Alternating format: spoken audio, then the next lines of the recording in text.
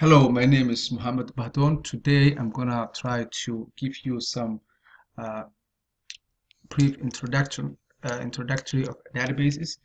Uh, so as you see here, database is a collection of data or information.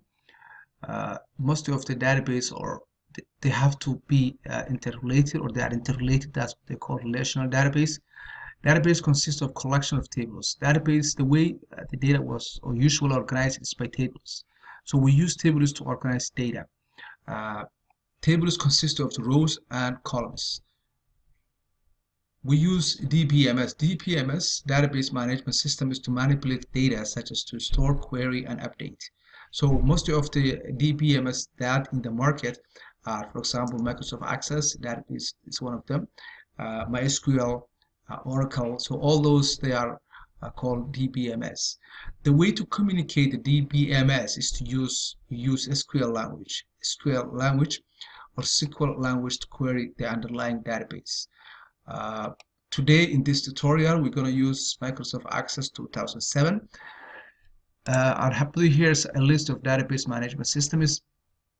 Uh, Access Microsoft products, MySQL is open source. So those of you who are interested in learning database more, MySQL is open source. You don't need to have a license. You can download it from their website and it's open source and it has all the features that you need to know about databases.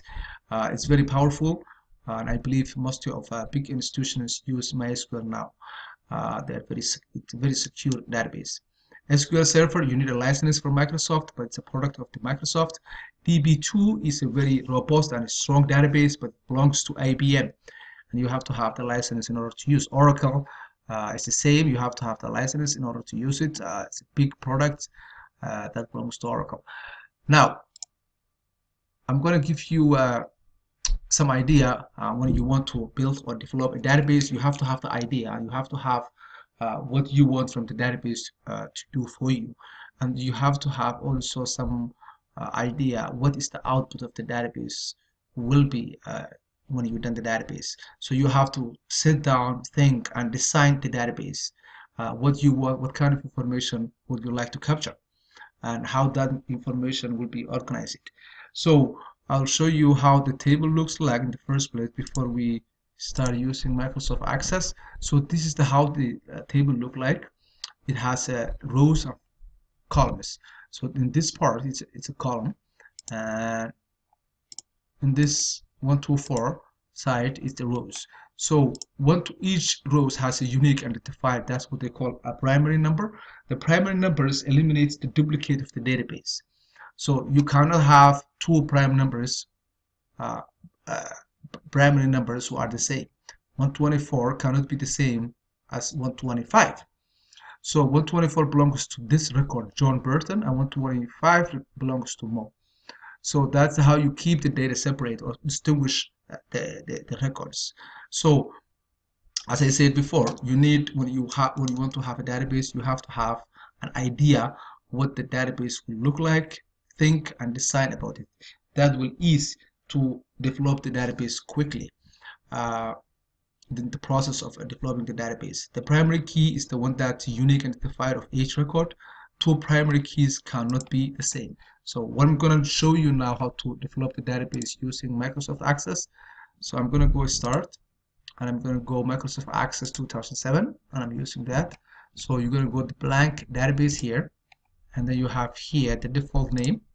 So I'm going to try to develop a database, student database. So I'm going to put here student DB. So make sure that you understand that always the database file name has ACCDB when you are using Microsoft 2007. And now it will ask you which folder, which area you want to store. So mine, you can uh, save wherever you want your computer. But mine is, I'm going to go to desktop and I'm going to go those lessons. I have a folder here called uh, student database. So mine is a student DBA so I'm going to click OK and now I'm going to say create. So now it gives me the default page of the database but empty. So I'm going to go create. What we are going to create we are going to create a table. And now I'm going to right click the table here to give me the design view. So I'm going to give a name. I'm going to click save so now as I said before the little key is your primary key. So now we're designing the database. We're designing we're putting the formatting of the database. So I'm going to put here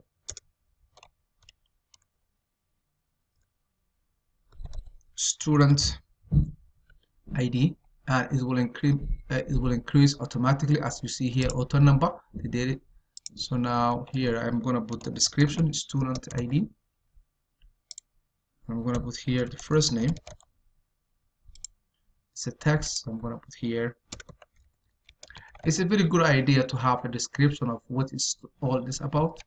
So later on if you want to change something or so you know what it is. So now I'm gonna put the last name here. Text. So this is the last name of the student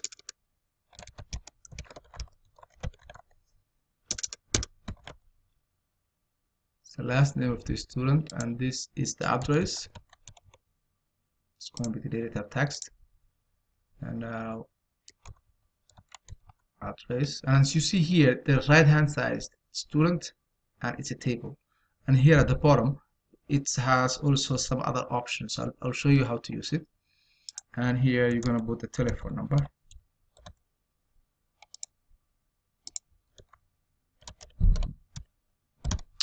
telephone number. So now we are done. I'm to save it. So now I'm to input here. My name is small as you see here the first number is 1 ABDI ABDI ABDI so the address one two three Hilda. Street and the phone number as you see here there is no this is not nice to put as a phone number because there's no format here I'll show you how to change later now here I'm gonna put John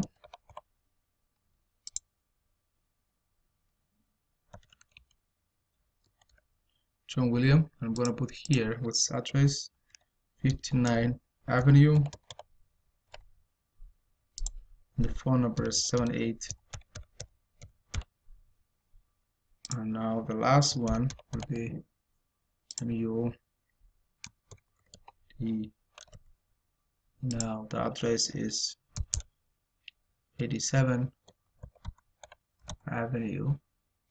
We'll have a phone number. And now this guy is Singh Mahara 17 Avenue. Know this guy his phone number. So I entered the data, so I'm gonna click save. So now if you open again, you see here. Uh, this is the real data that we input. So if we're gonna go back design here, and as you see here the phone number the format's not good so I'm gonna go input mask here I'm gonna click here so I'm gonna choose this format and what we're gonna try first. So as you see here it's a nice look format. So I'm gonna click here.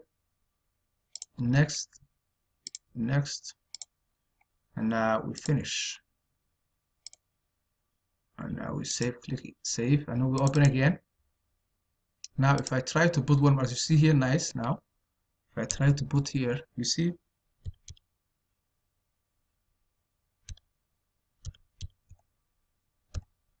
and now here can input